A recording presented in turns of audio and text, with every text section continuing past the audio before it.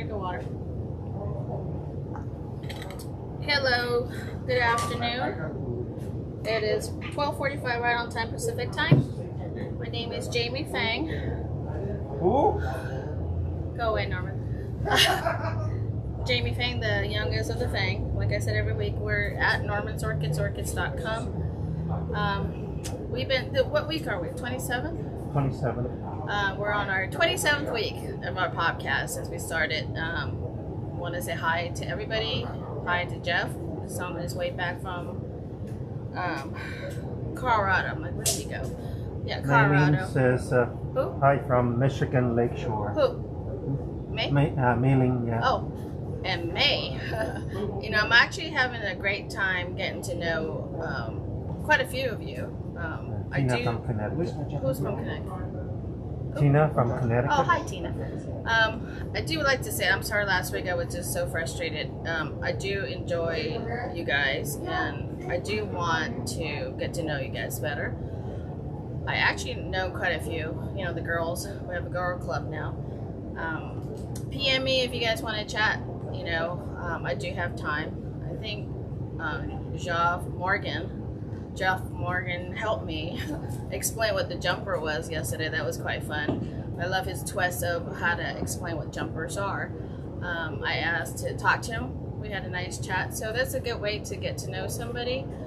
Um, go ahead and PM me if you, you know, it's okay to PM me. Just don't PM me on support question because I can't get to it. I have no way to understand how to look through the shipping info. Anyway, so the previous podcast is on YouTube under Norman's Orchids. So please go subscribe, and enjoy, and share with your friends that's not in the U.S. because we're still limit this group to U.S. because we do want to make sure we have time for everybody in the U.S.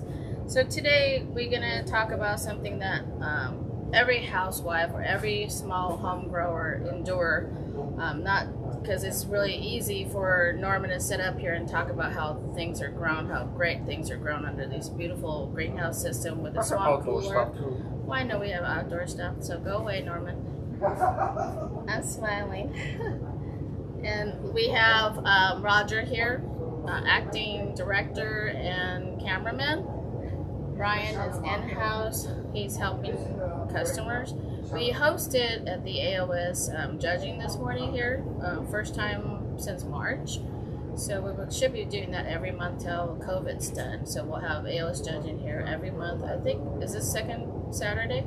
Yeah, second Saturday. So if anybody's local interested, can pop by and see what's going on with judging. Today we're going to talk about how to repot, what to do when you have a sick plant or a plant that's not so healthy.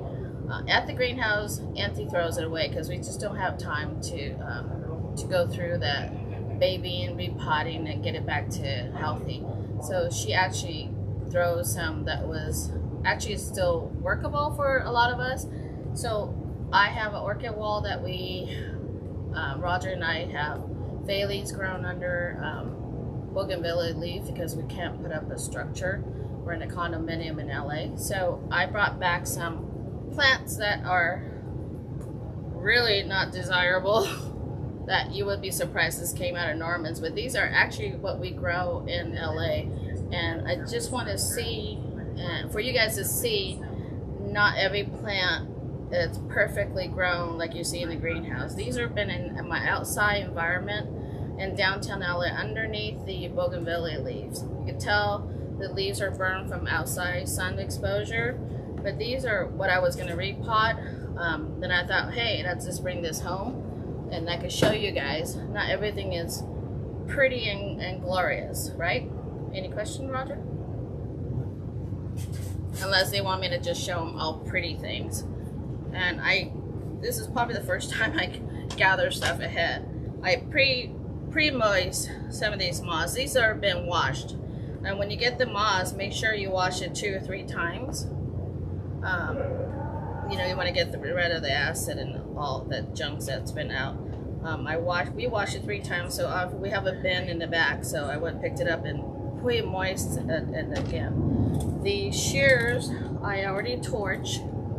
Um, we, you, I buy these from Home Depot, but you can buy them anywhere. I think there's smaller ones too.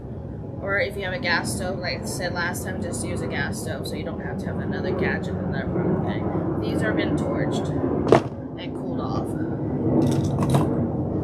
Okay, I don't have any peanuts, but I guess it's okay. So,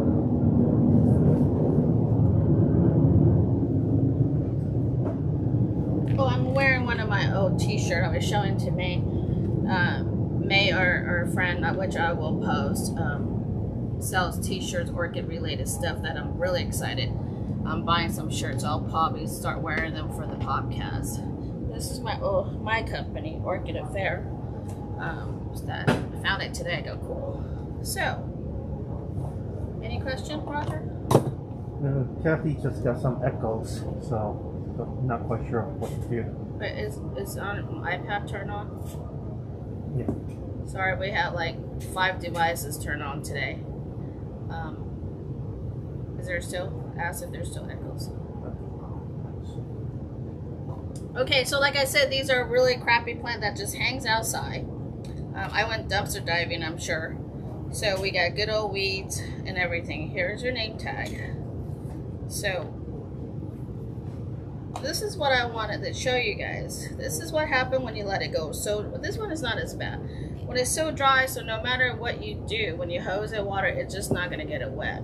The only time this will work if you just soak it. And this is what happened in my office as well. If I let it go too far or too long, it gets so hard that you can water all you want. It's never gonna get wet. Um, so at home, people wanted this me to show you how I water at home. But at home, I actually have three buckets and trays and everything. But today, um, I'm just going to show you real quick. But maybe another day I'll do a watering at the condo um, for people that grow at home like I do. Don't have the luxury to, to turn on the hose and just go. Um, let me hurry up. finishes. So this one is a little bit bone dry. So I don't want to disturb too much of it. So I'm going to just um, usually I soak it. So this bucket, this bucket I haven't, it's clean water, so I'm just gonna soak it a little bit. Usually when it gets so dry, I'll just dump it in there and I'll soak it for five minutes or whatever, do what I need to do and come back to it. Um, then the following water and they'll take water because when you let it go so bone dry, um, it really needs a good soak to get it back so for the following week you can water. I don't have a pocket anyway, that's okay. That's for you. So anyway, usually in the condo, I take a fresh a bucket of water. I'll water it through. Imagine there's a pot in there. I'll water it through. Then I have these trays, and they all sit there and get and um, dry. And the following week, if I'm doing the fertilizer, I'll do the first watering. It'll be fresh water. Let it wet. My second bucket will be fertilized water, and then I'll do the same thing. All the water capture in here, I don't recycle this goes straight out to the garden for the roses, my Hoyas or whatever. And that is really the whole thing about how to water in the condo. I have took home a, a push cart. Um, so I have three buckets set up. Let me just recap. Uh, if I'm not doing fertilizing, I just do fresh water, scoop it out, pour it in, let it capture it in another bucket right here. Then I have a tray with the four inch or three inch holes and just let it set and let it drip down to the tray. Then I put it back in my decorative pot um, on the bookshelves and stuff. So this is how I do it. Okay, and if the following week, or following watering week, I should say following week, the following, I've been watering every 10 days because it's been really dry in my greenhouse versus in the winter, I'll probably go every 14, 15, 15 days. Um, sorry, there's a lot of customer here. Um, so the following watering, I would do fresh water, another bucket of fertilized water, and an empty bucket. So first you water real quick with the regular water. Then the six second scoop will be the fertilized water. And everything go captured through by the third bucket. Third bucket, when it gets full, it goes right outside to the Hoya, to anything I'm flying know, watering, just not, you know, your food because the fertilizer is not edible. Megathrive is. Anyways, so now what you know, this plant is it's pretty um, needs. It's been outdoors and it's pretty. Uh, what is the right word?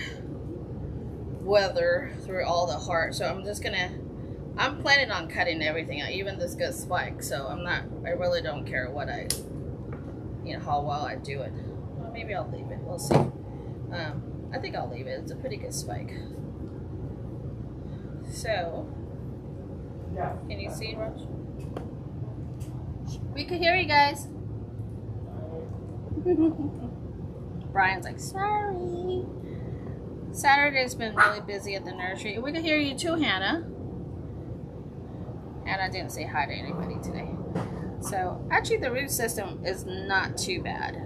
It's actually all still pretty plump. They're not dead. I'm surprised. Usually, when I go dumpster diving, there are other um, really plant that needs to be repotted. We don't have time. I know it sounds awful. We don't have time. Then we chuck it out.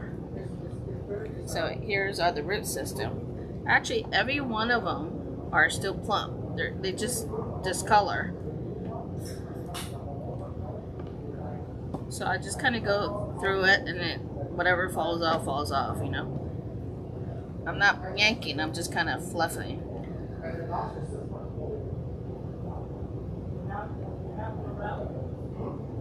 Okay, I think they were pretty good. I'm to keep most of the root system, I think. Anyway, so usually when we repot, um, we this is what we used to do when we were younger when my mother taught us. We would tape we would tape the tag onto the leaf and then we would have trays of them on the table and we just let it dry. And sometimes we do cut the leaf or we do yeah, root pruning. Um, so we just let it air dry. We come back to it a few days later, right? That's how we used to do it. My mom taught us. Um, we tape it. Top mom, shut up. Go away. Whatever. Mom's listening. True. In, in heaven. Um, yeah, so we do tape it. So otherwise, you got uh, like 20 plants on the table, and then the tags gets all jumbled up, and you're in trouble. So we would have a tray, and the tags already taped. You just let it air dry. You don't have to fuss with it. It's an orchid. They're supposed to enrich, enrich your life, not make it more work. Okay. So today, since the professional people are doing it, and these I usually Professional housewife. Karen has a, Professional. uh, Karen has a question. Abbott. Uh, Karen Wolf. Oh, Carol. Hi, Carol. Uh, Jumper. Uh, do you leave spikes on sequential bloomers if tip has broken off? Uh, if the tip's broken off, I, I do leave it because sometimes they will do a branching. I know that one. Norman's trying to help me behind the scene. Uh, if it's broken off, you leave it because sometimes they'll have a, a side branch that come off of it. I mean, there's no Leave on. point, you know, another side branch. So leave it on. That's a great question, by the way. And these, I usually leave it, the old moss, and I work it into my soil for better drainage. I don't know. That's the way I do it. It works. My my plants are all pretty and healthy. So, anyways, anyways, so I I can put it back, or I'm gonna move it up. I think I'll move it up. Overpot it a little bit. And another thing about repotting, um, is be careful because I see a lot of you guys that like overpot by quite a few sizes. If you come out of a three inch or three and a quarter, you can stay the same size, it's fine, or move it up one one pot size up, but never go three pot size up. People seem to think that if you move it up, it'll grow faster, but it's quite the opposite. It'll help you kill it faster because now you have too much water in it, and it uh, oppose too much water. But if you grow in bark, um, it's a little bit different story. So, do you need to move the camera? I'm trying to help Roger. He's doing two things. Um, this is what Norman, well, everybody does it different, but you know, wop a little bit in the center and make sure the leaf have some. And it depends on the grower. Some grower do it too tight, I think. It chokes the plant. But I kind of like to do it loosely. Yeah, I'm a business major, but I've been doing this for 30 years. I do watch and learn. so, yeah, you do it in the center. I do it lightly, helping.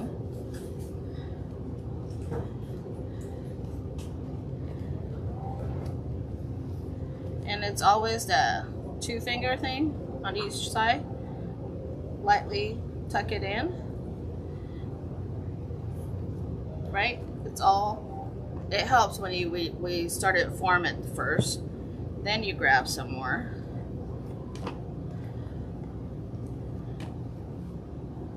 Are you dying to get on today? No, no, no. Oh, I'm getting Norman. Norman's over here. Usually we have to chase him down. We have some quite a few friends here today. Um, Yes, I'm supervising you. yes, dear. Whatever. I'll be nice. Yes, my Mr. Mentor. Anyways, so again, um, we don't want it too tight because then it'll be very hard for the water to be. It's very hard for the to be watered. So always two fingers. So I think we're good. I kept this root system because I noticed there was a lot of uh, the spikes. There's a lot of good roots to support it. So here we go. Um, the right way to put a tag in is squeeze a little bit. It goes in really easy. Okay. And these don't look too great. Remember, these are from my outdoor garden. Then I think I showed you guys what it looks like. What do you think, Roger? It's good. Yeah. And we don't water afterwards. Right? Yeah, Roger brought a good point. Um, we're not going to water. It, I'm not going to put it straight outside um, to the garden go, in yeah. case in case it rains or whatever. So I'm going to probably put leave this, and the outdoor patio still has um, an awning and stuff like that, so it will not get water. So I'll probably just leave it in the balcony for a couple weeks. Um, right now we're in fall, so it's okay to go right out. If it's in summer, I always make sure I leave it in the balcony for at least a month because I don't want it to go into, um, you know, hot weather sun right away. So here's our first repot. We're good. Any questions? That's pretty good, huh? You guys didn't think I know how to grow, did you? That's why Norman always say, "Oh, I didn't realize you know how to grow." Okay, so we're just gonna do a few. Now, don't freak out. This is, happens all the time in the sun, and I don't get really excited. This is how in this outside. You see, I got beautiful weeds. Even the weeds are dying. Um, so you just clean it up. So Ma- says that she uh, spread the Mega Thrive to the roots before she Yes. yes. them. Yeah, but um, we- we sprayed Mega Thr Mega Ri- Mega Thrive last week, right? Remember? Last Sunday we already did Mega Thrive, I see. so we're not going to do it again. I forgot to tell you. Yeah, um, you could do that. You could do Mega Thrive because you got everything already exposed, so you might as well spray. But we already did that. Our Mega Thrive Sunday was last week, right, Roger? We Yeah. did everything, so I'm not going to do it again. Um, I, I'm not really all that conscious about it, but uh, the root system came out pretty, so I'm not gonna worry about it. But yeah, if it's some plants that come out with, you know, three roots, um, some people will complain uh, if it's a species. Not, some species just don't have a lot of roots, right? Uh, in the, some novelty, they don't put a new root in the, in the. Yeah. So and When it's cold, when it's hot. when it when it's what? When it's cold. Yeah, when it's, you didn't say that right. When it's when it's cold, there obviously the root system is not growing as fast. Um, so if you get a roots, um, some roots are gonna die anyways. And that's why when the new ones come out. Um, so just clean it off because people will freak out. I think people get so excited that half the time I think that'll help you gr- kill a plant because you're either a plant that's really expensive, you'll take care of it more, and that's usually how you kill it. You know, oh, I pay a lot for this plant, so I really got to be careful. That's when I notice that people kill it because they just overwater it more. Anyway, so here's the second plant. Oh, shoot, I'm already over. I could do two. Um, Okay. Norman's like, that's okay.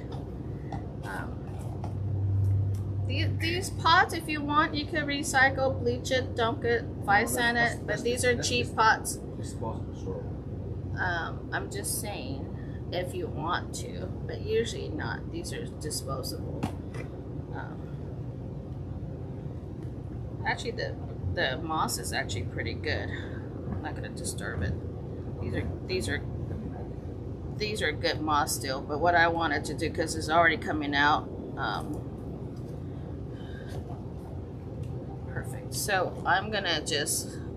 I think sometimes Sunny has these questions. The roots um, are showing off. What do we do? They have sequential flowers still going. Everything is healthy. What I do, um, I still repot it. You know, you get to a point that you want to save the plant. You don't want too much root system exposed as well.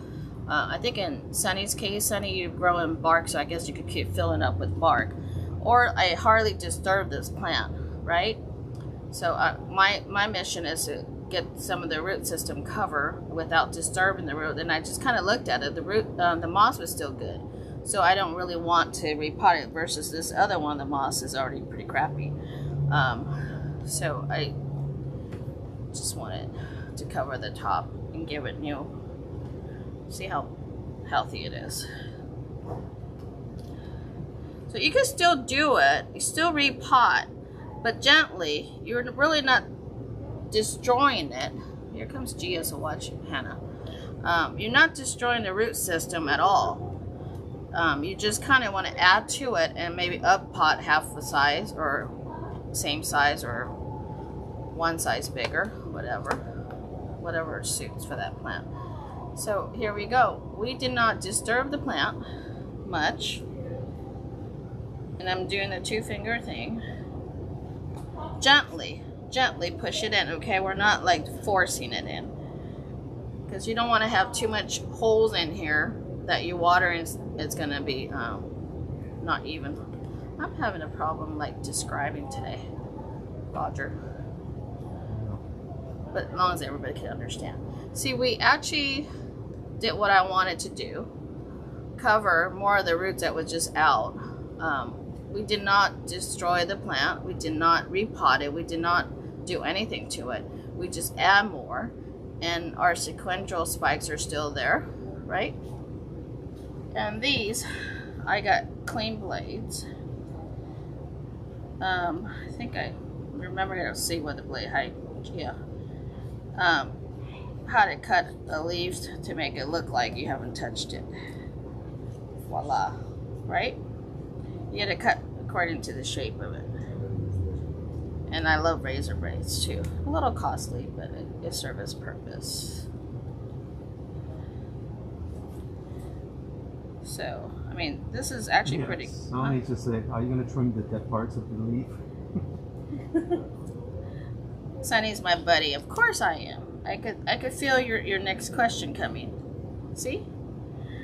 Now it doesn't look like we just picked it up from outdoor and then I got all these burn marks if we clean it up. I'm a visual person. You know, as a designer, we like everything pretty. And of course, this one is a no ID. This is what happened when you go dumpster diving.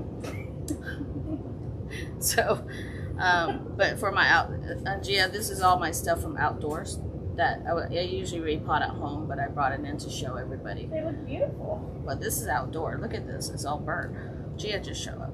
Anyways, but I do wanted to show you guys not everything is always glorious pretty. And I'm sure you guys all have those at home. But I wanted to show you how to take care of it. It's all my fault when it's burnt. well, this is my outdoor. I mean, I live in a condo in LA. What are you going to get?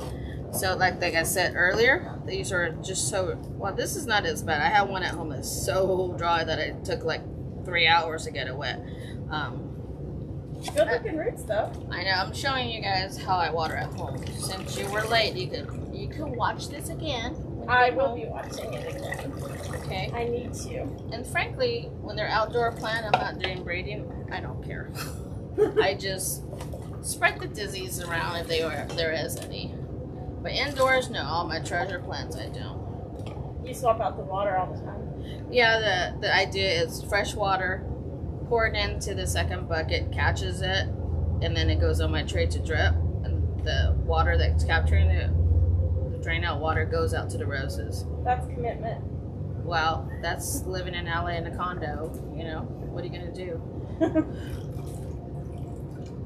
again, this is actually pretty good moss. I may not destroy it, but again, I want to. Is Sunny still on? Yep.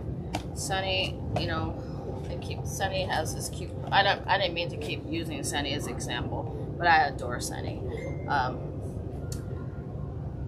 it the plant already raised up quite a bit, right? Good. Climb so, out of there. Yeah, climbing out of there. But the root system is beautiful. The moss, I'm taking a peek, are still very fresh. Again, um, this one has a spike, so we're gonna leave the spike. But I do want to take care of that problem that um, Sunny had a question before. When the plants raise so high, you're exposing a lot of root system. What do you do? But then you got sequential flower spikes still going. Do you want to? What do you want to do? Of course, obviously, if Norman will go away and not listening to me on his own phone, that'd be lovely. Actually, I have a question. I think that the, um, I think for some mediums, mm-hmm. some people they chop off half of the root. Oh yeah, yeah. Do we should we chop off half of the root on this one? Um, if it's too big.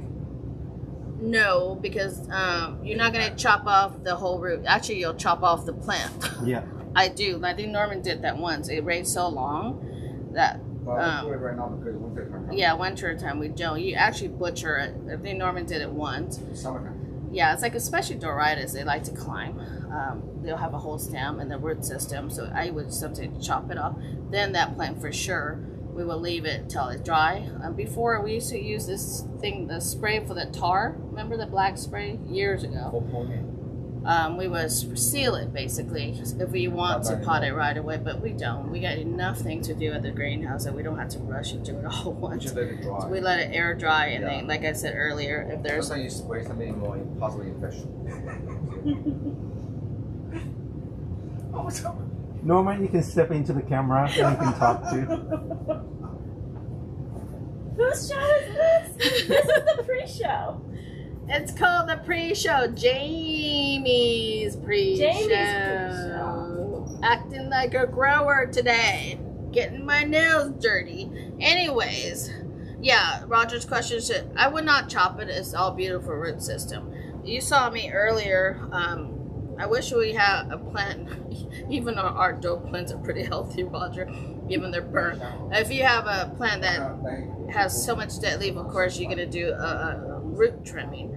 Um, but unfortunately, everything came out really pretty. I was trying to rip it apart. I picked the one that's burned ugly, but um, root system is beautiful. The only thing I didn't like and Sunny didn't like was raising so much.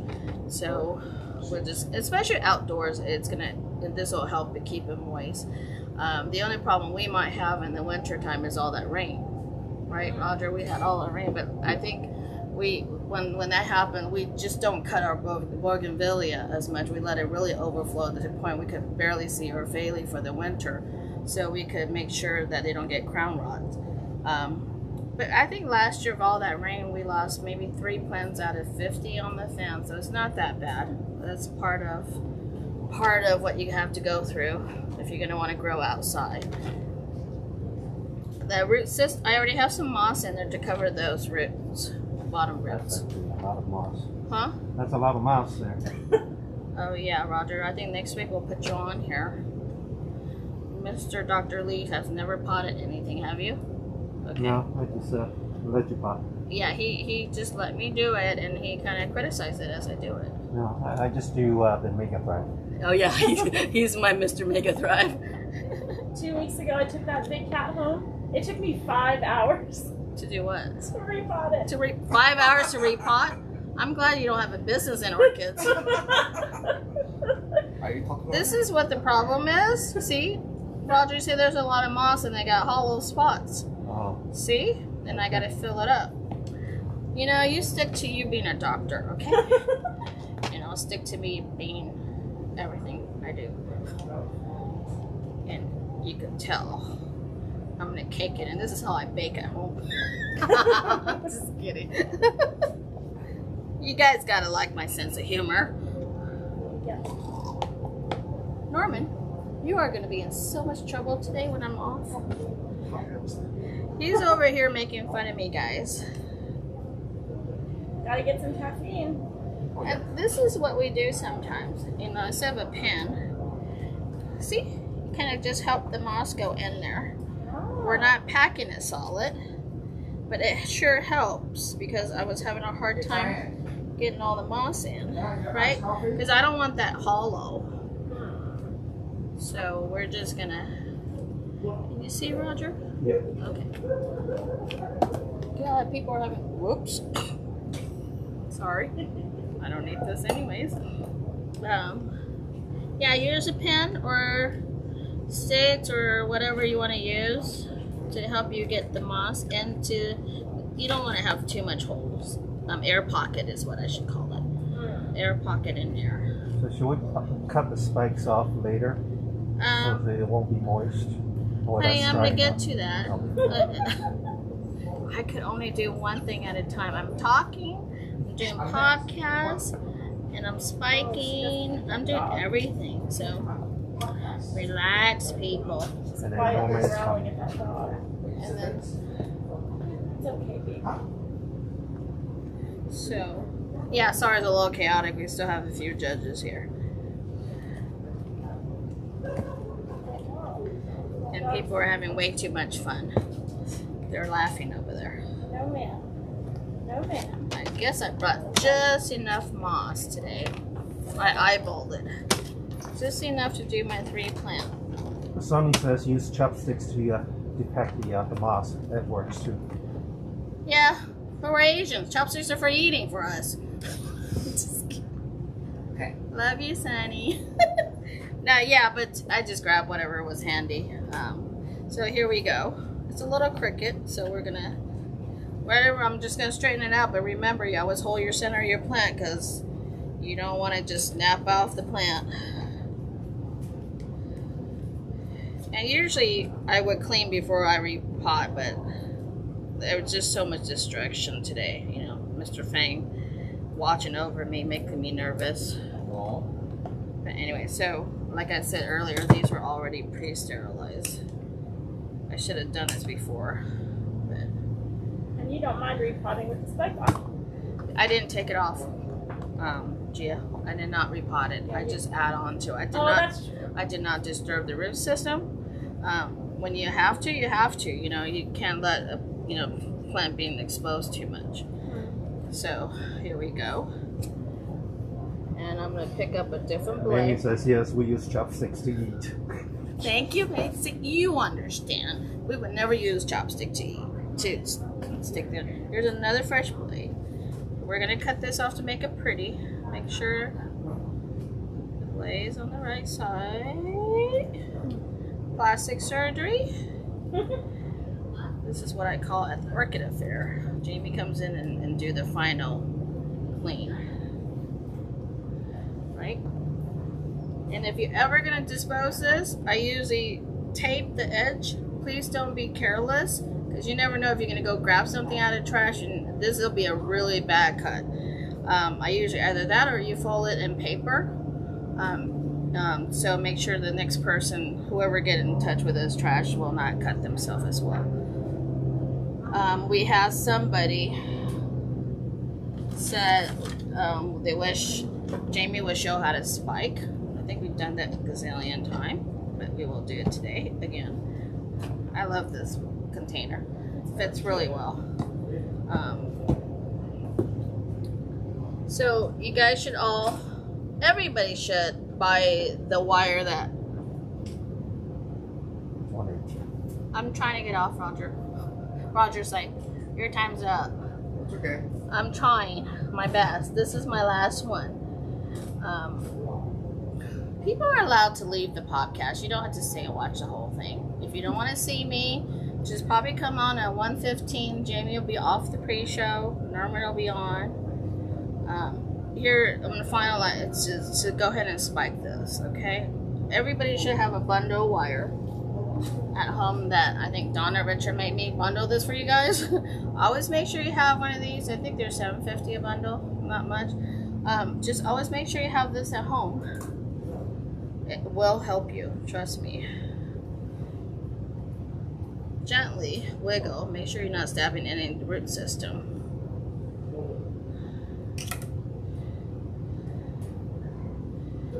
Okay. I'm gonna twirl it back to me so I don't snack this off right in front of everybody. And as you go, hold on to the spike because you as you get closer to the flower, it's really kind of fragile and brittle, right?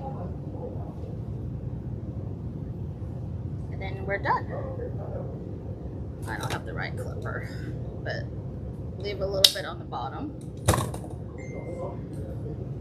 Make sure you kind of tighten it in, but don't squeeze too much. Otherwise, you might poke yourself in the eye, and voila. um, actually, this plant is probably good enough to stay indoors. Now that we clean everything off, didn't quite clean this part off, right? Anyways, so I think this this actually could come inside, Roger. This is too good. Oh wow. See, dumpster dumpster diving at Norman's Orchid is pretty good. Actually, I can't believe it. We just don't have time to do what I just did right now for all these plants because obviously we have so many other plants to grow. Um, but yeah, after a little cleaning, a little loving and care, repotting this thing, um, we're good to go. Remember, wet your moss. So now I don't have to water this for another couple weeks until the next cycle that needs to be watered. So uh, I hope this helped. I think this is um, more of what I usually do for pre-show. If you have any requests, I could help you do the, you know, easy task. Wouldn't want to bother Mr. Fang with this. But anyways, all right, guys, enjoy your day. Um, jumpers is tomorrow at 10 Pacific time. Again, thanks, jo- Joff, JP, JP for writing such a cute write-up about my jumpers. I really enjoy that. It's like a cute little story. Um, it will be a lot of plants. I, I really had a great time this week, so the jumper is going to be a lot, and you guys don't have to watch it all the time. Uh, if I just, I'll put it on an announcement, and then you guys could go look at it under announcement and mark it sold or not. But eventually, every week the jumpers are sold, believe it or not. So here we go, and I just found this one. That's cute. Oh, it's just so pretty. I love it. Sorority, right? Norman's is ready, dying to get up here today, so I'm gonna let Norman um, hang out with you guys. Norman, these are clean, fresh. Didn't use them. The dirties, I'll put on here. You guys have a great day, and I will see you next week. The following week on the 25th, I think we're not here, right, Roger? Uh, So you guys will have a break from me and Roger for pre-show for on the 25th. But I might um, go live. Why? I'm I might go live wherever we are. Yes. I think we're gonna be in Tahoe. we- I think we're we're still here next Saturday. We're here next weekend. The weekend after is um, we leave. We we'll probably be on our way back from Tahoe. We haven't figured it out yet. We don't know where we're going. It's um, Roger and my 10 year anniversary. Aww. Hope, hopefully we come back still together. All right, guys. See ya. Norman, are you ready? Ooh. Yeah, yeah, Borrowing yeah. a jumper. No, don't borrow my jumper. No, no, just show and tell. Show it. Just a No, those are sold. I know, I know. Those are sold jumpers. Is your mom I know she gets a little nervous. She was happy today because I ate Long John Silver's on the way here. Am I out? Yes, I'm right there. Okay. If I leave. Uh, hey, Jamie. Hey. Yes, I'm Say leaving. not after yourself. You would think he's a CFO. hey, I need my mask. Where's my mask? Bye, guys. Hey, Roger got new plants today. Okay. Good morning. Good afternoon. Hi, my name is Norman Fang, and for the new member, uh, this is I'm the creator for the Norman's Orchid that started in 1986. So before I begin, I want to show you. Some of you have seen the segment on the Phalaenopsis gigantea, and I show you one of the gigantea alba, and it's full open now today. Roger, can you see it? Oh. Isn't it Yeah, beautiful? it's gorgeous. So Wow. it just is this is blooming size in just four inch pot and the flower count is very good uh, for first bloom so you can flower gigantea it doesn't take a lot of space for the size okay so that's good thing to know because there's a lot of gigantea alba hybrid coming out from our nursery so this is very exciting and the leaf is gorgeous too okay Wow, we've been waiting for that. so pretty. Okay. So today's topic is the dendrobium. Uh, dendrobium actually is one of my favorite topic. Uh, when I was in Hawaii, back I got a scholarship in 1984 to do Anthurium, and so I lived in actually, uh, uh, you know, a Hilo, Hawaii for one semester, six months, and that's when I developed the the liking of dendrobium. Uh, in Hawaii, uh, there's a, a, professor called uh, actually developed a cut flower, the Jacqueline Thomas. That's been it's actually very similar to uh, this type. He used this, the Australian dendrobium, the native species, uh, for cut flower, and they that's why you have the the white dendrobium in the summer for for cut flower, not the Den-Phal, but Jacqueline Thomas type. Okay, so dendrobium and in Hawaii, you know what? Some of them can get so tall, the Jacqueline Thomas, they use it for hedges.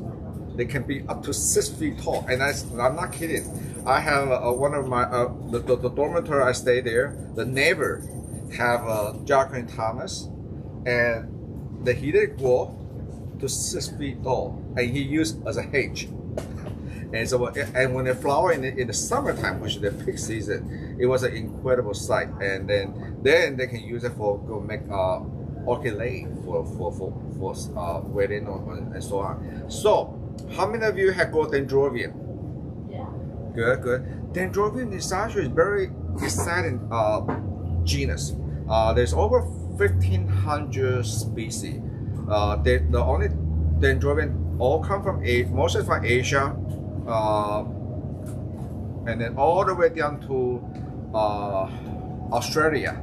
There's no dendrobium. Uh, most of the dendrobium uh, that we're familiar with uh, are the tropical one. The, is this box just brought in by Andrew, and I'm gonna Andrew me to help him talk some of this. So I'm gonna use it the Andrew's uh, dendrobium as an example. Okay, so this is the dendrobium, is the, the one that we're most familiar with. It's called what we call uh, the evergreen type. This this type would never drop off the leaf. Okay, so this is the uh, Hawaiian twinkle. It's actually very similar to this. Uh, it's Jack Jacqueline Thomas by Blue Twinkle. Uh, and this one here is Brucey. Uh, okay, sorry. The, this one is called Brucey. Uh, okay, the, so this is what we consider as the what we call the evergreen type. Okay, the evergreen type mean it never. Uh, it's not like some of the nobile type, which drop the leaf before the flower. And, but they do drop the leaf only on the older can, like this one here. So when they drop the leaf, have all can like this, that's oh, that's okay because they store a lot of water and nutrient here. So and nice about dendrobium is uh, a lot of this older can can rebloom. Okay, and this one here that the, the Andrew have is getting ready to flower again. But Andrew live in Los uh, Los Angeles. He, he got his Andrew got his outdoor right, perfect. And uh, what I'm going to tell, I, I happened to uh, visit Andrew, and I told him to uh, give him more light. And especially right now is fall, and it's for for us in fall in California. If you at Pacific Northeast, my part winter already, or what going to call. This is the time for all your dendrobium or even cattleya, if you go in a windowsill, put it closer to the window because a lot of time we tell you to put it away from the window because the, the light intensity will be bright. We don't want you to burn the leaf. But now the day is getting shorter and day nighttime is getting longer. You notice that intensity of light is actually not as intense. It won't burn your leaf or your skin. So you actually can put it closer to your window this is the time you want to maximize the light. And for Andrew, I would put it at where you can get full morning sun. Full morning sun. As long as the, uh, even in the middle of the day, when we're hot, uh, it doesn't burn.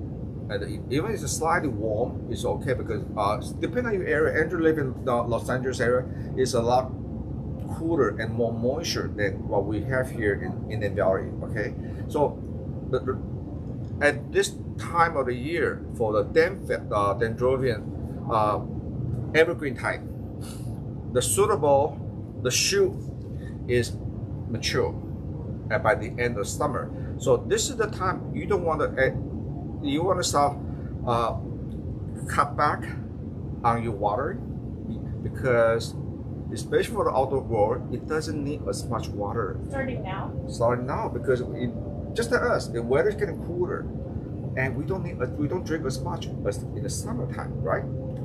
Common sense, and it also noticed a lot of this bump is started to show up. This is the time to get maximum of light. That's why you get the maximum spike. Okay, so if, if the worst part you can do to this plant this time of year, uh, I never the the person like the uh, slow release fertilizer. Uh, a lot of time people might, might get more, more even slow release fertilizer in there right now.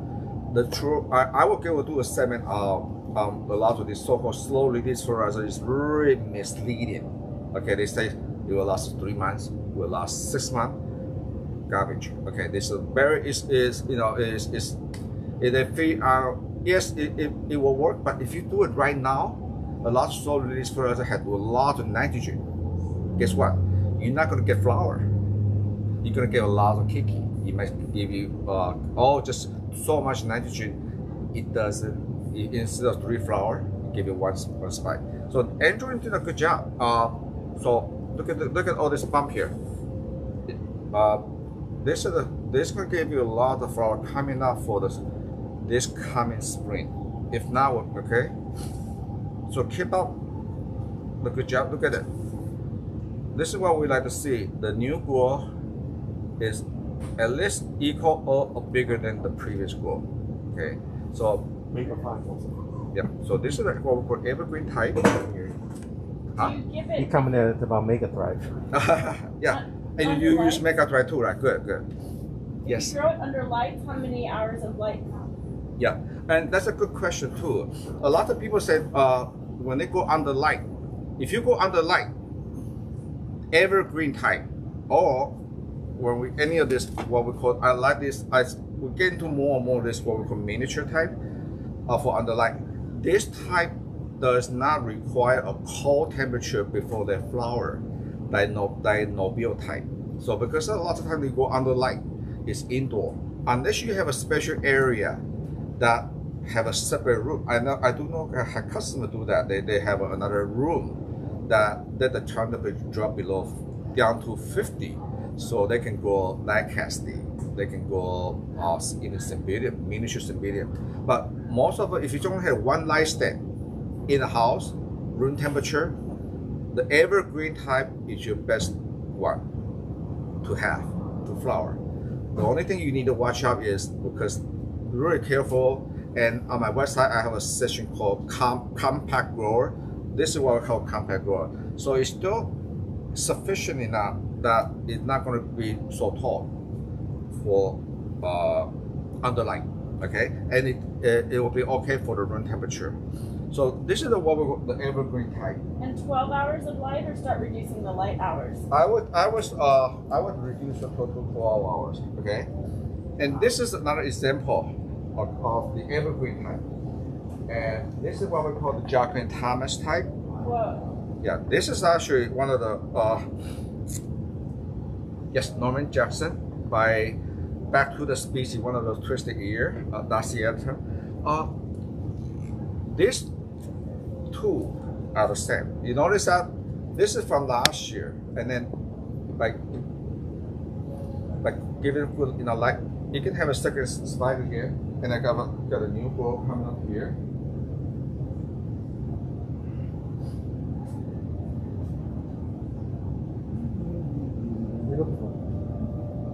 Okay.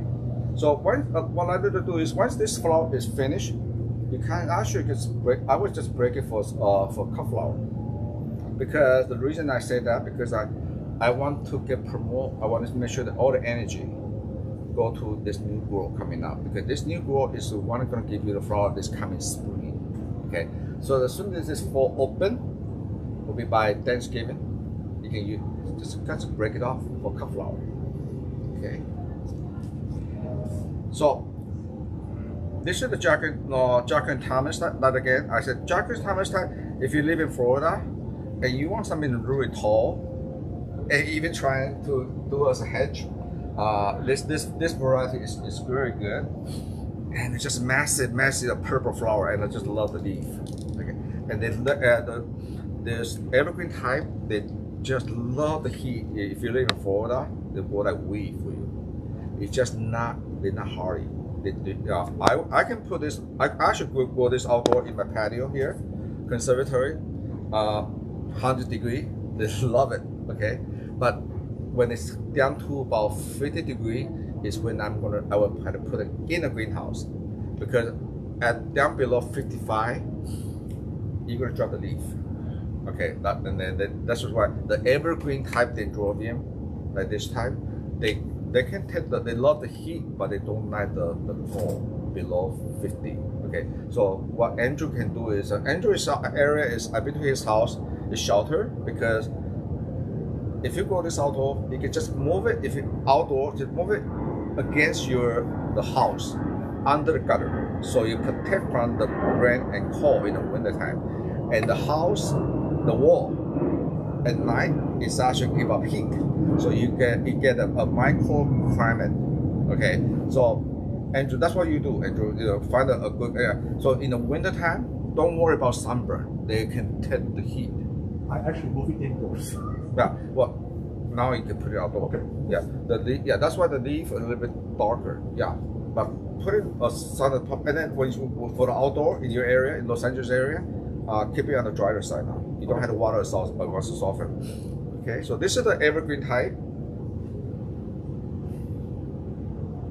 and then we have this hibiki. Okay, this is another one, uh, one of our specialty. I love this. Hibiki is the dendrobium verticillosum by lancifolium. Okay, this is another one will go, it will go, it go every time uh, it go hot and cold because the two species, one species will take care of the cold, the other species take care of the heat. So this hibiki is a perfect, perfect dendrobium for beginner. If you never have a, a, a good, uh, you want to try something different than the, the Japanese, uh, the evergreen type, the common one, go hibiki. It, it really, I, I, I can go this outdoor, it, it take the 100 degree weather. Go And yeah, and then go down to 45 degree here. And I think I have a segment on dendrobium before, but and again, they dendrobium they, they, they can be bloomed for all can. So this is the one that is going to be a bit. Uh, it's got another new book coming out, so be ready for a lot of not big flush for next year. So when you go out this outdoor, uh, Andrew did a good job. This uh, original my original mask is uh, is moss, so he put it in the clay pot, and this is a good choice. The clay pot will dry out the mix, but not easy for him to handle. And then he also brought another one. Is what we call the Formosa type. Okay, the the Formosa type versus the evergreen type is very easy. Roger, can you look at look at the hair? It is the hair. Okay, and the, another difference is the evergreen type, the Den-Phal type, they all flower from the tip at the end of the new growth. So they're from at the tip here or the side. The Formosa type usually fall from the side. Okay, and this is the perfect example of the down, a Frosty Dawn, a earlier, uh, the earlier uh, hybrid, and that's it. They don't get any taller. And I have a Over here. Over here. the letter. Okay, I have another one And this is the uh, newer, uh, this is the newer hybrid called Jaho Delight. It's actually uh, we, the one we get in a lot of water. This was actually flower outdoor in the 100 degree, 100, 108. And so I was testing it. And if you grow it in a mass, grow all dendrobium like to be in the small pot size. Okay, smaller the better because then all the energy go to the group, not trying to fill out the pot. Okay, and this is perfect example. So this is outdoor, right? okay, so Andrews, yeah. The, this is gonna Dawn Maree is Frosty Dawn is a also spring bloomer. So right now, I'm gonna use this. Uh, he, since he bought this thing, okay. This, do you mind? No. Okay.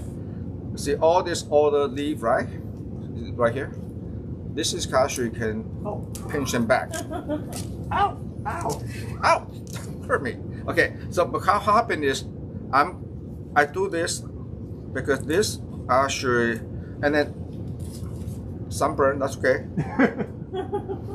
what I'm doing is I'm creating more airspace oh, okay. and also light because they can flower more than once a year.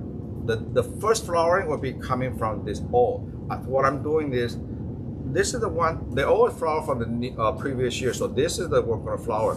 That way, it- the maximum light, you're gonna have a fresh along with the new one coming here, matured this year, along with the old one. So should I, is it full light also like the other one? Full sun. Full sun. You how get it- cold in the winters? I I always don't know how cold I should let it go. They can go, they, they, they can go down to 40. Oh, Easy. so I'm fine outdoors all year. Yeah, the, the, the suitable, the back ball might drop, but that's great. The they can put that as cymbidium. Oh, okay. And one of my good uh, good friend uh, Roy from H&R, and he H&R did lots of the earlier breeding on the. Uh, for example, the the region they call Formosa type. Yeah. The, there's a Dendrobium Formosa actually from Taiwan, and you know where they come from? They're from the mountain. oh, okay. 1500 elevation and they they can they, they reported they can have sometimes they have a uh, very rare snow they, they might they might burn the leaf but the can is still retained Oh, okay. okay. yeah okay so this is perfect very nice you see here so in the fall this is when you start doing some measure they go into the you just cut off the dead Up. can make sure i want to see a lot of air Okay. coming here and do a good inspection. Very healthy, good. So you can expect lots of this. Uh, get up with the. They can use more light. You see here, this will be give you a lot of nice spring. Yeah. Okay, very I also job. actually have a Formosa. Dendrobium formosa, yes, Same treatment. same treatment. That the, the Dendrobium formosa is even hardier than this. Yeah, I got it from you. Yeah, because the Dendrobium, the Dawn Maree type, uh, the reason they keep it small because they cross with a, a, a Nordic Thai species called Christ- Kristen. And Kristen is the miniature form. Oh. And they had a bright orange lip, okay? And then this is another wonderful species that Andrew brought in. I bought from you also. Yeah, Dendrobium primulinum, okay? Andrew, what, what did you what did you do differently? Okay, so uh, morning sun all Yeah. the way to about eleven thirty. Yeah. And uh, Lego tide. Right, and I also told you to give it what more light.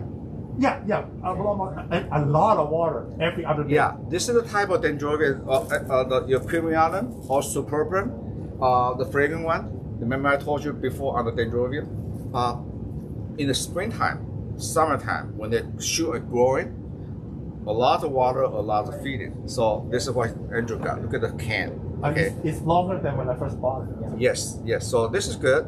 So this this is the the Lao strain Yeah. from Lao. Okay, the Lao strain have very big flower. So The yellow throat. a yellow straw center and very beautiful fragrance. So Andrew, right now I was just getting maximum light. There's two ways of growing this. One philosophy, uh, sometimes I, I personally like to give it so much light and a lot of feeding. Make sure you feed it, okay? And make it dry. And I let it dry for one month. I let it drop the leaf. Just one month? Yeah, a minimum in December. Yeah, because I have a premium, premium, Yeah.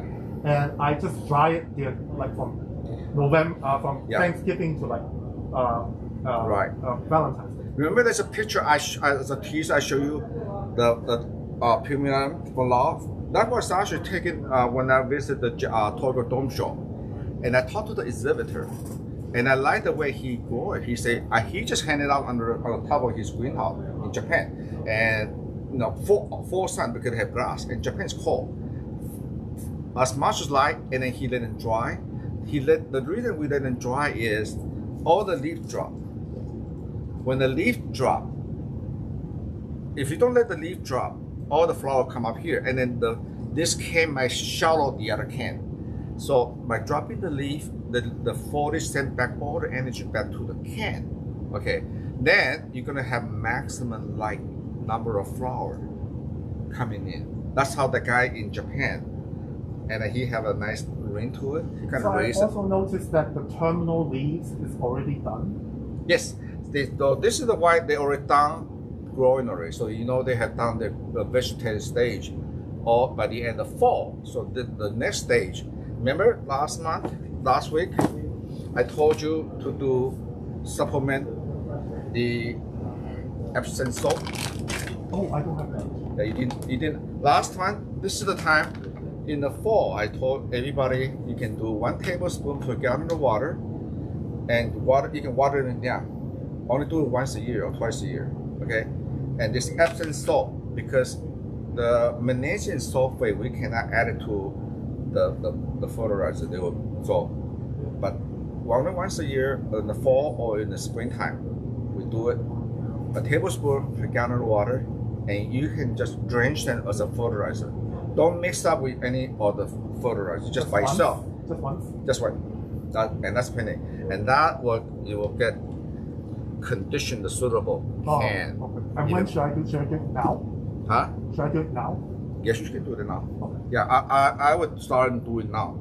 Yeah. When should I start to dry that one? Because I I'm, I want to like dry it soon because it should. I would wait it start November because in California we the reason being in uh, in California we're still hot. Yeah. Yeah, we still have 80 degree. Okay, unlike but if you are in uh, Pacific Northwest or Northeast, you, your door, your daylight is really shorter. You can do it now, or if you are in Florida, uh, you can actually the, the trick to get them more flower is to you know make sure you don't get as much water as you your regular Canada because in, in South Florida it's, it's still warm. But by by putting it on the, the drier side, it's actually going to tell the plant that hey, you know, their hormonal will be changing. So be more cytokinin for flower versus more auxin for leaves. So the, the, the ebb and flow constantly. All right. So this so for in this in Andrew's case in California in West Coast, uh, the end of October.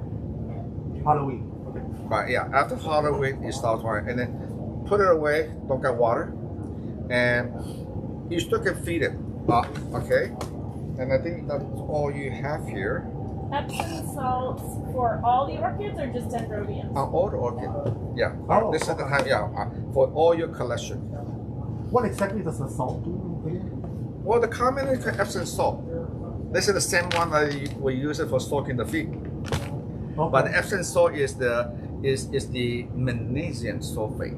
Mm. It is the magnesium that we want Oh, okay. at this time of year, And what does that do? especially, huh? What, what does that do? Well, magnesium sulfate will good for chlorophyll, increase chlorophyll, and also magnesium is a, is a uh, micronutrient. Oh. That's why you only want to use. You don't want to use too much. Know, you have like you, you don't want. It, it's essential, but it's this time of the year between changing the season is very important. Uh, it's, it's beneficial. It's a sort of the all. Uh, if you talk to some of the old timers, they swear by it. And in one, of you know what, it won't hurt, and it's very economical. I'm sure you have one at home. Magnesium sulfate, Epsom salt. It's wonderful for soaking feet in the winter time. okay, but uh, okay, Andrew. Can I have one more question? Back to, back to you. I also have a Dendrobium senile. Samantha, yeah. So I think that's the same as the berry type. Or? Yeah, the Samari also have hair. Yeah. So yeah, I would classify and put it take together with the Formosa type. Okay. Yeah. So But- same cold weather. Yes. Yeah, and then it's okay to let them drop the leaf. If you're not sure about the, the cold tolerance, uh, on my website, uh, on every dendrobium, they have a temperature. If it's an intermediate, that means they can take the, they can take the cold. If I if any of the dendrobium in my culture in my temperature requirement is said warm, those are usually what are the from the tropical area like the Dendrobium phalaenopsis. Those are the evergreen type. But for example, the Dendrobium formosa type, the Dawn Maree type, is always a warm and intermediate. That means they can be outside. So you can do your homework, and if you have any question, you can always before you order, you can always email support, and then uh, if they, if they cannot answer the question, you know they, they will forward the email to me, and and then or best yet, post a question on the group. because this group allows the of experienced growers too, and then everybody by posting the question whether the PM me, and are only one to one, that way everybody can benefit. And you know, I'm sure there's some there will be some because there are people might be in your same area, they might be have different tips than I than I can. Okay. Norman, And there's one question. the- yes. Um, the Epsom salt, Mm-hmm. do you just soak the media or do you drench the leaves too? I, dra- I, I use it the same way that you water and feed your orchid. So you wet the foliage and down into the potting media and then, then drain out. That way the, the leaf and the root, especially the root, can they all pick it up. You spray it to what leaves? You can also spray. Yeah, especially that's a good question. If you if you have some of those leafless orchid, Yeah. it's just spray the leaf. Yeah. Okay. Now, some of these Formosa. I- So this is some. This is a perfect example of the the showstopper. This is the uh, this is the type from Asia. I love. This is semi tropical. Now this is a perfect example. If, if you have situation like this, I will not repot it because because it's just mature, and now they go into the the any destruction, there's no shoot, no repotting because this will flower coming up in the springtime. And this is the one that does that easily. They call showstopper. Which one is have this for sale. Yeah. And then this is the new one. This is Formosa type. This is Dendrobium formosa, but it's the peloric form. And here is a perfect example of Dendrobium formosa. Here. Dendrobium formosa actually uh, uh, itself is not a really tall grower, uh, but they have flower looks like cattleya, the massive flower. The hair, the suitable. Yes. Um, the Denkensia type, like aggregatum. Mm-hmm. So, um, what what do you advise to do with those? aggregatum? Like yeah. aggregatum, parishii, those are the type very similar. Those are one that are a little bit cool. They don't need as much. I'm going to get into nobile type. They actually, or they don't have to be really cold, cold, but they do need to have a dry rest. And they will benefit from the Epsom salt too. So Oh. when you do Epsom salt, when I say do something, you do everything. Yeah, yeah. Yeah, big Epsom salt, magnesium sulfate is a fertilizer, so it's not pesticide. So you don't have to worry about not able to do this species or this one. And even Paphiopedilum would like it too. Really? Yes. Oh, okay. Yeah, especially the multiflora. Yeah. Yeah, especially the multiflora with the with the solid leaf, Senneriana, Philippiensis, Microcopia, they love. They, they love magnesium sulfate. And one thing you will notice after you put Epsom salt or magnesium sulfate feed in, the next day, it's almost like Mega Thrive. It's a, the, the, the leaves is kind of grassy. Oh. The hobby. Because magnesium sulfate is also very important uh, for building the uh, chlorophyll, which is the building block for photosynthesis. But, but only once a year. I will only do it once a year because it is a micronutrient. So you don't have to do it every month. Yeah, there's something you have, but the last time this, this is enough throughout the year. But on, we only do it in the just right before the flower this time of year because it's changing the season. And in turn, it's actually it- it's added benefit in addition to your Mega Thrive. So before we have Mega Thrive, magnesium sulfate is a very um, uh, Epsom salt is essential. But now, if you have Mega Thrive and this in there, it's going to be amazing. This is why. See this right here? Wow. Look at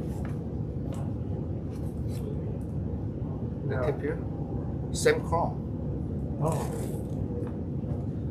The difference is I grow this one outdoor in the heat, so I got some sunburn. Okay. Okay, and this one here is grown in a greenhouse, shadier, but I do not get the side of can.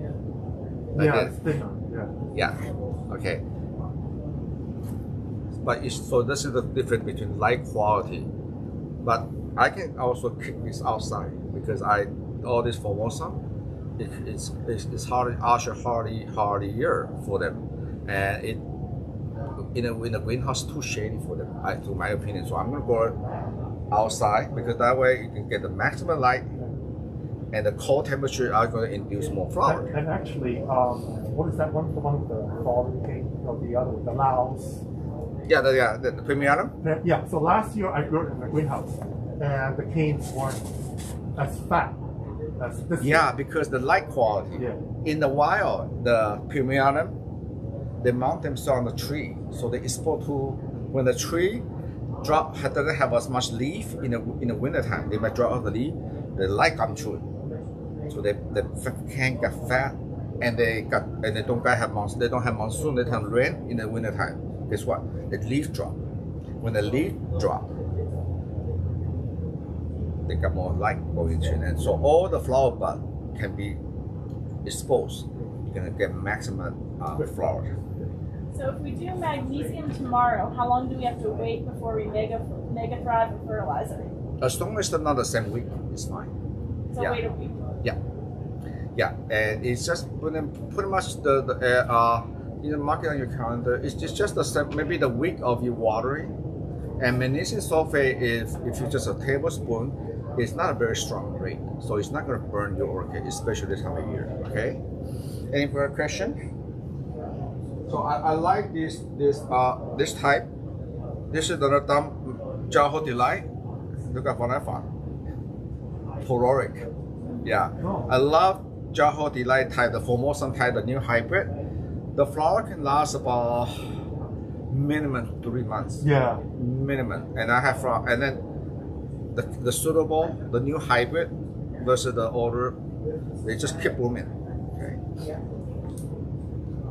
And remember the one that everybody liked, the picture have a, the beautiful red flower? Oh yes, I like that one. Okay, it's right here. Oh, it's huge. Wow, it's huge now. Yeah, this is my, uh, gosh, this is about, this is a species actually native to Taiwan. And this is one of the choice one. I'm, I'm eventually, I will try to clone this, uh, clone this one. I've been trying to clone this one because waiting for the new shoot. I got a new Oh. shoot here. I'm not gonna break it. I Uh, thought you were gonna break it off. Is this related to um, Dendrobium amethystoglossum? no, prettier. No, but is it the same family? Um, no, this is actually uh, uh, this one here is actually very similar to Dendrobium formosum oh, area, but it's not the formosum type because they don't have hair. Okay, uh, don't worry, I have a number for this for this one here, and this is the time is uh, it's been going outdoor. Yes, it's outdoor in my patio over there, exposed to the heat Yeah. and they actually I'm, I'm gonna uh, maybe prop it what my, we have a contractor gonna s- s- come spray the greenhouse so I'm not even gonna uh, spike it until he finishes spraying so see all this this is why the, the, the picture all this all flower this can Yeah, is yeah. gonna be all flower Oh. See, they flower on the all can. So it's okay to let them kind of do. I don't want to spike it and do like this. No, you want to let them loose. This is the one in the middle. We're going to give you a flower Oh, okay. because we, we do as a pot plant. Yeah. In the wild, they mount it on the tree, cascading. So they got a lot of air and light. So right now, I'm just going to make sure. This is why we let we let the new grow kind of they loose. and also a cool dry rest. they can they can be outside. I'm not, I'm gonna put this outside just like the nobile type, and give them call, and then they drop the leaf. I'm not gonna let them drop the leaf. And the short the quarter the can, and then they also drench with magnesium sulfate from the pot, And no water. and the carbon. Yeah. So this one I will uh, to get the maximum flower in that the picture I show you. It was amazing. You know, Yeah. it's and hopefully one day it's maybe get a, a culture award. Look at this can. Yeah. And guess what the pollen mix is? This is the one I, I got it in my I using the ch- my bamboo charcoal. Oh. All I have is bamboo Oh, charcoal, it's pure charcoal? pure bamboo charcoal, Ev- Of the entire. entire mix. Wow. There's no bark. That's why I love my bamboo charcoal. The bamboo charcoal is recycled. And what I like about bamboo charcoal versus some of the uh, horticulture charcoal because we don't know what kind of wood they come from. Okay, and bamboo charcoal is slightly alkaline, about seven, about five point eight, a slight, uh, slight about five point seven. Uh, and then with the fertilizer, the normal fertilizer with acid. So by the time we go down there and we collect the solution from the bottom, it come up about 5.8, which is the perfect ultimate uh, pH for, for, for orchid, Oh, for okay. intake of the uh, pH on it. So here we go. It's, it's nice and dark. So then I will tell my, my, my uh, the people who, the pesticide applicator, go ahead and hit and make sure that he spread it in the middle. Sorry. what pesticides do you recommend? I have scale problems a lot. Mm. Uh, okay. My lawyer will tell me not to recommend any brand Oh, because okay. I will get sued. but uh, let me what tell you. kind? Huh? What kind? No, no, no. But it is the pesticide. Uh, the common.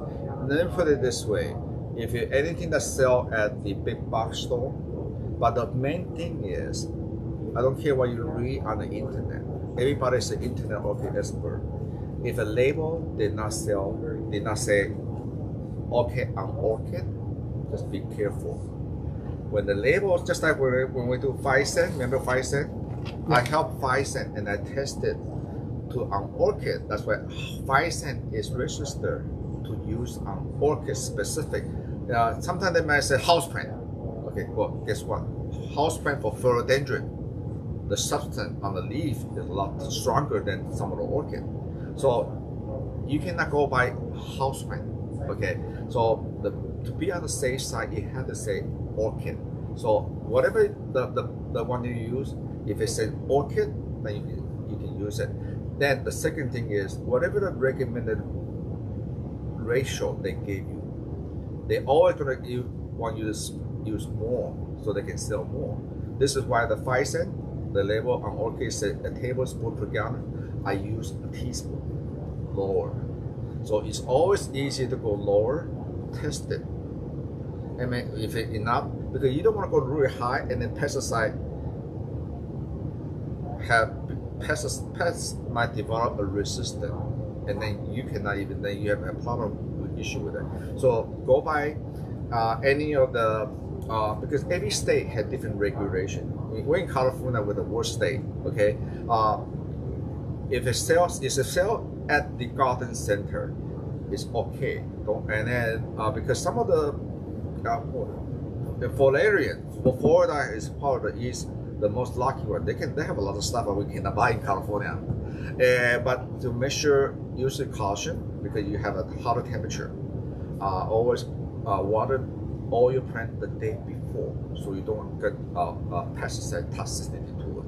Okay, and then secondly, if they get it's an orchid, then use that, that is the safe side. And if you anything that somebody recommend you on the internet, if you might be good for his area because you don't know how his growing condition. Okay, but if you had to use it, don't spread it on entire collection. Use on couple plant. And a lot of time, even for myself, before I use any other pesticide, uh, I will use, for example, for a lot some of the more tender one, I use maidenhair fern as an indicator. Oh, Spray on maidenhair fern. If any other pesticide that burn the the maidenhair fern, not from the smog, because in California we have smog. Okay, maidenhair is very subject to the smog damage. But if you spray them, uh, it got maidenhair curl up or burn them at that ratio that they recommended. So you got you got to be careful with that. So always try an air. But a lot of time with the pesticide, I will I will don't worry, I will do another seminar on pest disease. Okay. A lot of time is house cleaning, you know. This is that's what that's what I was doing earlier. We, I clean up the leaf, make sure that make sure we take out all this old debris. okay, uh, house cleaning. This is why we usually have a spring and open spring and fall open house because that forces us to clean the nursery under the bench. Yeah. So One question. yes, It says, uh, what fungicide is best for dendrobiums? I heard that Physon 27 is not for dendrobium. yes and no. The question is twenty seven right here. Oh, sorry, Phyton, yes. Okay. The all copper fungicide. That one when you the all farmers use when you spray them everything the blue. Uh, that is not for dendrobium phalaenopsis, the evergreen type. Now, since dendrobium, when they come up with this statement or the topic, there is no dendrobium formosum yet 30 40 years ago. In fact this is why i, I only recommend phyton 27 okay? There's always exception the rule. Phyton 27 is a more expensive and more advanced formulation of copper fungicide. The, what's amazing about this one is when you, and you, I, you I only use a tablespoon per gallon, and you spray the foliage only to make it dry. You spray the foliage, and it doesn't give you any of those blue all copper fungicide. is a much more gentle formulation. So this, you, you can use it on Formosan type, but not necessary as long as you don't spray the evergreen type, the Den-Phal, Jack and Thomas type. But the Formosan type, with the one with the hair, they're tough. They are they are more susceptible to uh, copper base. But especially but if you want to use any copper base, use Phyton 27. And I, I, I, I think a couple weeks ago I used Phyton, Phyton 27. I usually do it twice a year, in the fall and the spring. So right now it's a good time to spray Phyton 27. Especially if you live in Florida, you have a lot of moisture, or Louisiana, you have a uh, you have a, storm coming just went through. Uh, it's good. This is the one that I usually recommend people to use because Physan twenty Physan is a preventative program. Okay, but when you really have problem, this is when you bring out the big gun and use this. Okay. Can the if you are growing those dens outside, can they grow outside in western light, Yes. even afternoon light? Yes, because remember, right now in the winter time, the sun is not strong at all now. It's very gentle. Like today, you go outside, yeah, there's not much sun. Even if the sun is not as strong as intensity as what we have in the middle of July and August, right? Yeah. So this is why it's a perfect time to move all your dendrobium type to for uh, for morning sun, and you will not burn them. They will really benefit, and you're gonna get more flower this How coming. full afternoon sun? Go up to the sun, not gradually. Gotcha. Gradually, you know, you don't want to put it outside from your house. Used to be a very dark area and outdoor. And make sure that one is also hardy enough for you to be outside. Okay. The last time was for the outdoor orchid, we usually put it outdoor, like this one here. Remember the miniature one, the wearable orchid? I was showing one of the judges earlier. This have have coccinea in the background, Sophronitis coccinea, but this is for outdoor outside. It, with, with all the weather we have, 100 degree, okay. But we put this out in March, so they gradually used to the outside temperature, but not as ideally as in in uh, in the greenhouse. Okay. So this is the very example of the Jaho Delight. Look at this, For most of type. All this can, they can have flower. And this is not bad. My um, my frosty dawn has Uh-huh. never flowered from the lower part of the stem. It's always been on top.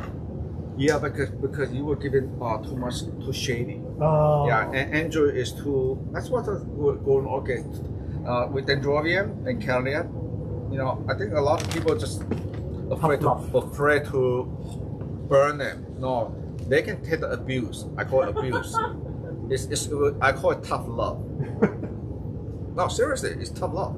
So I, I, I just like kid. You know, if you give you know give it too much TLC, you don't want to spoil your kid. Let them play in the dirt. Let them play in the dirt. Yep, I play in the dirt. Let, let them develop their own immune system. Okay. Now, any more question about? Oh yeah, I forgot. The, the, the next top, next one is the nobile type. Yes. Okay. Now this is the tricky. Uh, the most. This is Oh, nobile type. Outdoor grown, Oh, some keikis up there. and this is Yeah. nobile type. Different variety. Okay. This is the one right now. It's outdoor grown. Okay. Leave it alone. Are these hybrids or the species? The hybrid. This is a hybrid. Okay. So this is this is the to my kid. One of my oh no, this is the uh, the Japanese white white flower. This is the what we call a tall variety. Okay. I treated that cymbidium uh, at the end of the fall now. They, we gotta remove Oh, this. ouch. That's okay. They're tough. So this is the one in the fall. You start removing all your keiki and then start a new one, get a label. Okay. And they have a nice suitable I have a question about the keikis for the nobile type. Yes. So once you remove the keiki, do you grow the keiki warm after, or do you? Well, then right now for this one, for example, I have a nice root here. I'll put it in a, in a small pot, maybe two and a half, three inch pot. Yeah. Okay. And then uh, this is for us in uh, in California. I, we still have one month of warm weather, so I would. It's okay to put it outdoor. But if I do it, I'm, I'm doing this, and you live in Oregon or New Hampshire, you cannot. It, it's more beneficial for them to be inside, treating that or put it with antifungal acid on the warm side Okay. help them to develop a root system. But this one here, because in California, which at night it's still 60 degree and 65. Okay, so I can leave, I can pot them up. If you have, if you guys don't have space, leave it outside along with it or separate them because this one need water. The nobile type, the mature one, like this one for example, this is the older one, right? I would just cut off, pinch off. I want because this one will flower along with the next one. So and also So I should go take the leaves off my nobile type now. yeah, because especially the one that is been, has some kind of uh, it's not very ornamental, right? My Parisia and take the leaves off. Yes. If it, Okay. if a, if an old one, Yeah. yeah, because that way kind of expose the can, Okay. the light. But not if your if, but not if the terminal leaves has, hasn't come out. I mean, Aparitia still has it's still growing. Yeah, but but the old old- can, the old old one, can. the old one, the old one, yeah, the old one. Sorry. So the nobile type, okay, nobile nobile type, uh, nobile the, the type the species from the foothill of Himalaya. So they really they can take the cold and the heat, but this is the time you want to put all your nobile type dendrobium in one corner, away from your evergreen type, away from your cymbidium, away from your formosa type. And in California, uh, by about November, it's still warm at night. Uh, started about after Thanksgiving, uh, or before Thanksgiving is when you stop. No water and no feeding, nothing. You can spray Mega Thrive. Fer- Mega Thrive really not a fertilizer, but stop feeding any of the, the, the fertilizer. Just let them stress, because we try to create that their native at- uh, atmosphere like from the foothill of Himalaya we call. Alright? So what happens if you feed them? This is why I say I don't like uh, some of the slow release fertilizer. If you put in slow release fertilizer in the middle of summer and they're still there, so have a lot of nitrogen, okay? Instead of giving you a flower in the springtime, this is why you're getting a lot of keiki. Instead of giving flower spike in the wintertime, you get keiki. That is from the over nitrogen um, in the slow release. So this is what I I don't like the slow release fertilizer because slow release fertilizer you cannot control. It's there, and Ouch. and you don't know you don't know if they're still there or not. And that's why I like the come here closer. Let me touch you. Ouch. And that's why you don't Ouch. No. Norman, what's wrong? This is why uh, with the liquid fertilizer you can have more leaching problem. Okay, so nobile type, if you go under light, uh, nobile type is not as ideal to go under light because it requires really cold night temperature. Unless you have a separate room, and I do know some people who have a grow light in the basement, and they get cold like in Kentucky at night. So that's that's okay. You don't have you, you can have another a room that you don't heat them, and that's okay. That you can go your, your some of the temperature uh, sensitive one like Lancaster, for example. I did that when I was in New York in an apartment. One room with the window cracked open, Yes, that's that's a good tip. Uh, and my Cymbidium goes in there and my nobile goes. yes, well, Andrew, that's good. That's good tips for, from Andrew. Are we ready for show and tell? Can you go ahead and give the mag- magnesium Epsom salts to the nobile type now? Yes. Uh, when I say everything, I mean everything. So do that and then rest it.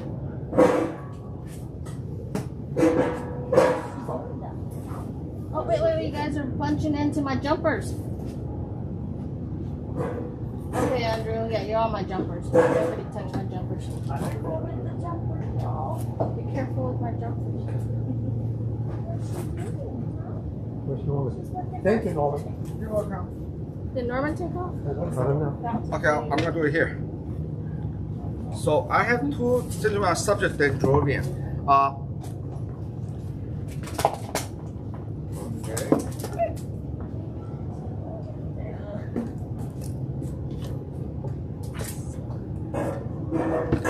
This is from I think Philippines and Burma. Okay, here's the number. Uh, these are spring bloomer. These are evergreen type.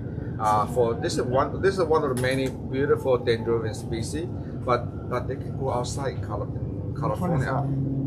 Uh, dendrobium simple grass is yellow Oh. and with fragrance, and you can go in the basket or mounted, and the flower usually kind of hang in the Amatera Oh, grassa.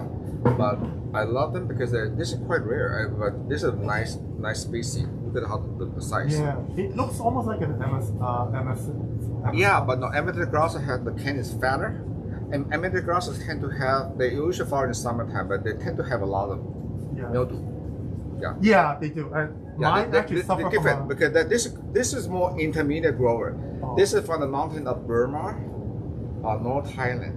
Amethyst grassa is a tropical one from Philippines, so you know very warm. Okay, and another one is kind of cool, very very similar to the one I have here. It's another intermediate grower. Okay, Brian. Suto. This is one of the one that is what I consider as an intermediate grower, and it's not very tall, so it's, it's good for under light. And the foliage is is like about all this Asia uh, dendrobium. The, the pseudobulb the can is very pretty, almost looks like miniature bamboo. yeah, it does. Yeah, so the, the can is very ornamental. So all this, this is a good time to get it now because the, for our experienced grower, people get it now. It, it's cheaper to get it now before they, they start spiking. And then you can condition into your own condition. This is what what like we in, in Miami too, in Florida. Uh, I seen people go in the, in the basket, the tea basket, the send for vanda and put them moss, and they just uh, And- they just take off. And as a California grower, when you say intermediate, how Intermediate that make it go down to about four, uh, 50 to 100. They so can I'm hot, okay outdoor. Yeah, they, they can hot and cold. They can be outside. And then, uh, I might emphasize and on the drawing, this is, so this is the number. Okay, can I have a number on this? Uh, this is the nobile type, uh, but very good leaf. Yeah. and they do have flower in the uh, west side. In the, is, is so this one here. Sometime uh, for lots of you can even what I like about this one. This is the yellow one, yellow hybrid. The yellow on the nobile type, this particular clone does not need as much cold as some other hybrid to flower. I know we sell, we have a lot of customers grow this variety for me in Miami, in Homestead, and it doesn't require cold temperature But dry. to dry and flower yellow. But I would, this is perfect for, and they don't plant don't get very big, uh, perfect for go under light, even just for the foliage. But it, they, they need, need a dry dry period or no? No, No. no, not, not, yeah, not because the, the, the, the species they use in this one here is a little bit warmer. And we just, I just released this one today because uh, I saw it in flower. So this is the Dendrobium formosum. Uh, this has actually been awarded uh, a crown. It's got the silver medal in Taiwan. This is uh, this is the, the species where it come from. But I love this one here is the peloric. Pitif- pitiful. Okay. It's fragrant too, right? Yes, slightly, slightly fragrant. Today is kind of uh, crowded today. And then another dendrobium. Everybody know the Formidible. This is the Yeah, This is the gold medal from Japan. This is the the, the chasing, but the entire pure white. You can look at the picture, and the plant don't get very big. Look at look at look at how robust. For, for me, flower is very easy. Yeah, and go outside. Yeah, I go outside. But even they, they go easy in Florida too. Yeah. Yeah, and this is one of the farmer is one of the air, uh, stuff that in, in even in uh, north northwest is, is nice But they cold. don't. But they don't like wet. If if No, it gets too wet the winter, wintertime- flower. Yeah, they so the the dryness is at what we call stress. Yeah. It's actually more flower. They have to dry. dry. Yeah, so this one here, it's been growing. I've been gi- giving a lot of light and water. Yeah. So I'm going to another three weeks. I'm actually going to kick, kick him out of the greenhouse and leave Now- it outdoor. So would I do a full morning sun for this Yes. as well? Yes. Okay. So for this one here, for example, I'm going to kick him outside, uh, take advantage of the cold weather we have. The, and then in California right now, at day and night could be 25 degree, degree deep. So I can put it outside and leave it as long as I want. And I can control the temperature by how early I put in there. For example, this one flower usually flower in naturally in March, okay, and I can leave it outside in January to hold them back because outside in January in California is cold. But I, by, so I put it out. The longer I put it outdoor in a cold temperature, I can delay the flower. So by I can put the flower in the greenhouse, the heated greenhouse, for example, uh, the end of January. So I can have them flower for Mother's Day Uh, rather than March. so Norman, Yeah, so this is how you can con- uh, by by putting orchid outdoor, you can you can actually uh, changing or, or try to uh, manipulate the, the growing uh, flowering season. Okay. so Norman, mine, mine only flowers in August, and I don't know why. The regular Formidible. Yeah. Uh, I think it's the light. I think you, what happened is Andrew, you probably getting too much too shady. Oh. That's why they you, you will delaying them Oh. Okay. unconsciously. You will delay because they, they not they don't get enough light to mature the can. Okay. So this is this is another one of MC one nine one. This is the Frosty Dawn. You Frosty Dawn, remember? But this is the dwarf one. Okay, uh, don't worry, we're gonna have release it as soon as finish. Uh, this is the miracle. The Frosty Dawn is half is half the species Princeton, and then uh, compared to uh, Andrew's plant, this is about half of the size and, and more compact. Right, and then okay, so this is a nice. If you don't have a lot of space, and this this is perfect for under light because it, it stays small. Okay, so this is the one I would recommend if you don't have a lot of space for windowsill. Okay, uh, the compactor is a, is a chrome that we, we have. Oh, Catalina. Oh, this is oldie but goodie. MC1668. Okay, it's an epicat and it's beautiful. If out twice a year, the spiking is coming up, and I love the can. You're gonna see the silver. It looks like back. It almost looks like a miniature uh, sugar cane. Yeah. And No. and this is the Renee Margaret hybrid. And the other one is, is a uh, mini mini mini uh, yellow cat. So this is you can see a lot of epidendric influence on it, but I this is very ornamental, perfect for under light on windowsill. Don't grow very tall, and the flower lasts a long time, three to four flowers. How cold do you let your cat hybrids go? Path. Cat. Cat. cat. Well, this one here is in in our intermediate house. They go down to about forty-five. Okay. Yeah. And dry. dry. and dry. Yeah, and this is why they I got them really bright and the light is from the bright. So don't worry if you got the the, the plant and people oh my god it's, it's red but plant is not. No, this is the way that the plant looks like. When a new grow in the bright light, they give you this reddish color. As the plant mature, they can do green. So this not everything had to be green. Okay, all right. Ah, good. Now, this is the one, the same species as the big one I have here. The one that, the orange red.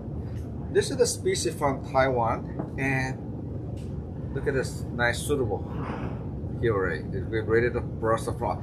The, the, the, the species is ranging from fuchsia color purple, they can have, they can flower orange or they can flower red.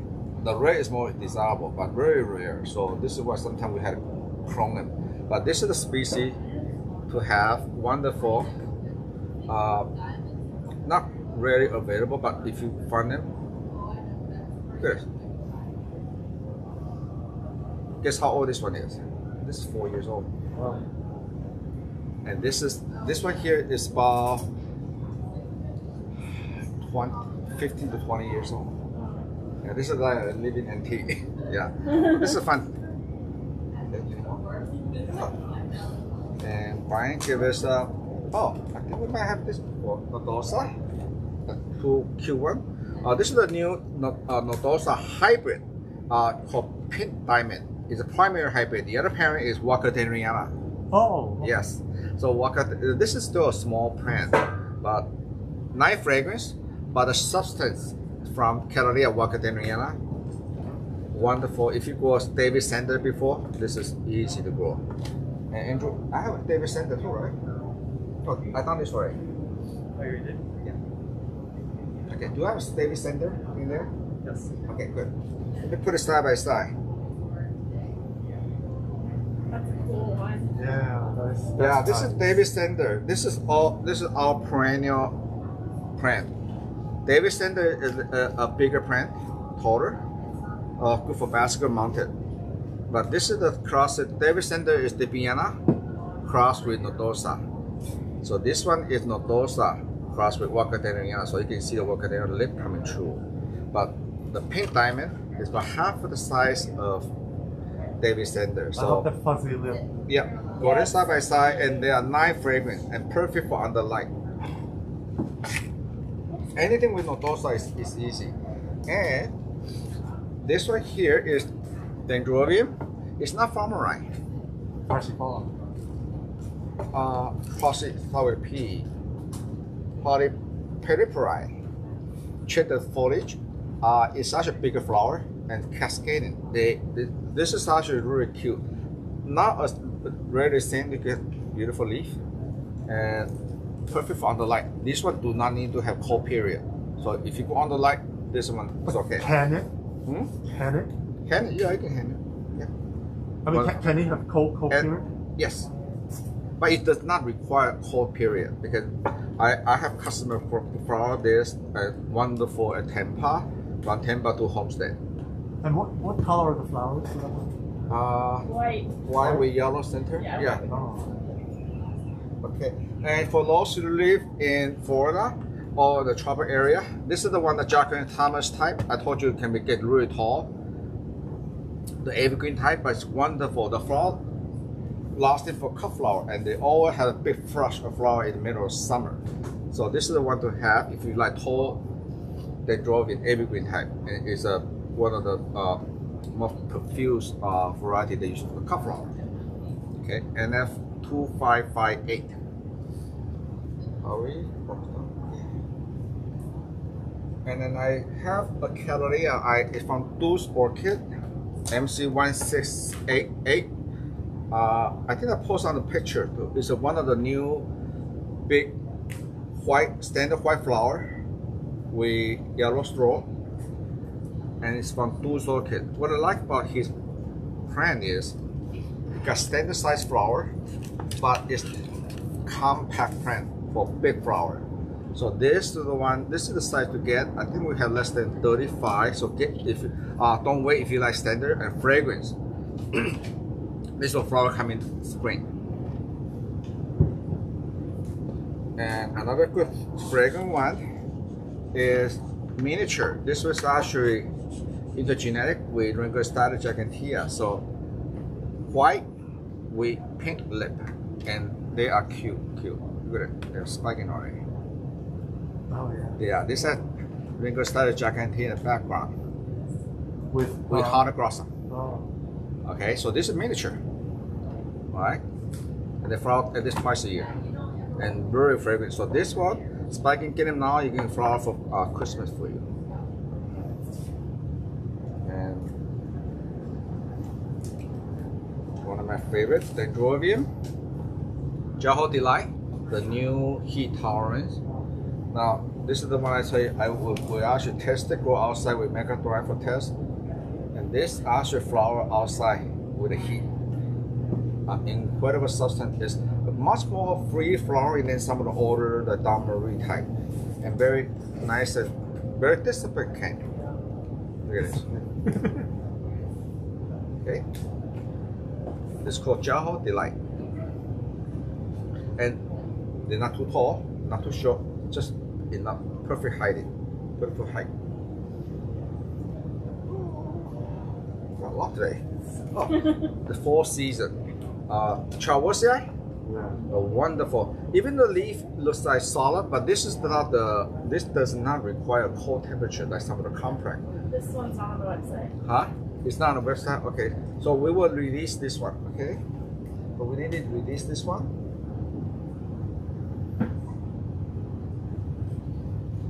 And release this one. A mini cap. Oh, this is my favorite. It's called Creation. Creation flowers at least twice a year, spring and fall. Uh, very easy to grow. Uh, cold tolerance too. So this is a good, wonderful uh, for outdoor uh, area. And in the fall, they, in the springtime, they can carry up to four, four to six flowers. This is just the first one of crop. Okay, wonderful, beautiful, really nice plant. Okay. Oh, last two. They give us all the fragrant Wow, look at that pink. This is the green genie. Okay, and Andrew, can you have give me that green genie carrier? Yeah. Green genie is a wonderful got AM. They flower on a small plant like this, and they say small plant. And the they, the biggest they can get is this. This is green genie. You see here? So this is something that you can look forward.